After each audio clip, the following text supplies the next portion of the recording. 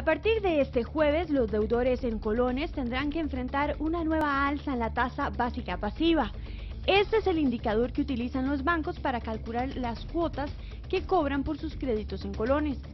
Esta semana alcanzó el 11%, un promedio que no conseguía desde el 2009. Según el Banco Central, el incremento de esta semana se debe a las alzas en las tasas del Ministerio de Hacienda y de los bancos públicos.